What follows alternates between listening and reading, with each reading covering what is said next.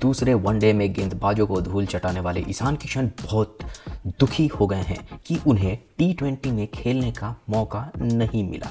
उनका गुस्सा साफ़ झलक झलक रहा है। बने रहिए, देखते हैं पूरा मामला क्या है। चैनल को सब्सक्राइब कर लीजिए, लाइक कीजिए और बेल आइकन को प्रेस ज़रूर कर लीजिएगा।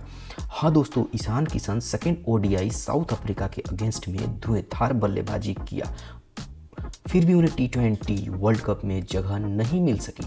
साउथ अफ्रीका के खिलाफ तिरानवे रन की पारी और उसमें सात छक्के मार के गेंदबाजों को होश ठिकाने कर ईशान किशन ने कहा, छक्के मारना मैं भी जानता हूँ। ईशान किशन का यह बयान दिखाता है कि वो अंदर से बहुत आहत हैं, बहुत कुछ कहना चाहते हैं खुलकर ईशान किशन कहते हैं, कोच और बोर्ड को मेरे अंदर ज़रूर कुछ कमियाँ दिखी होगी जिनके कारण मैं टी ट्वेंटी वर्ल्ड कप में चयनित न हो सका.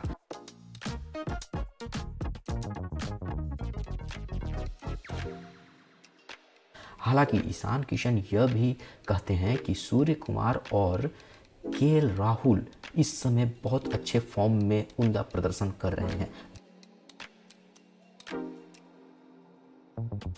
मैं अपनी पारी का इंतज़ार करूँगा।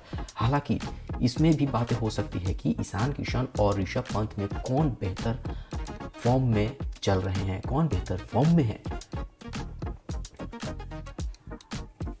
निराश होने की बजाय ईशान, किशन इसी तरह बल्लेबाजी करते रहेंगे तो one day T world cup में इनको इंडियन टीम में मौका ज़रूर मिल सकता है। ये आगे उभरते हुए खिलाड़ी हैं देश के।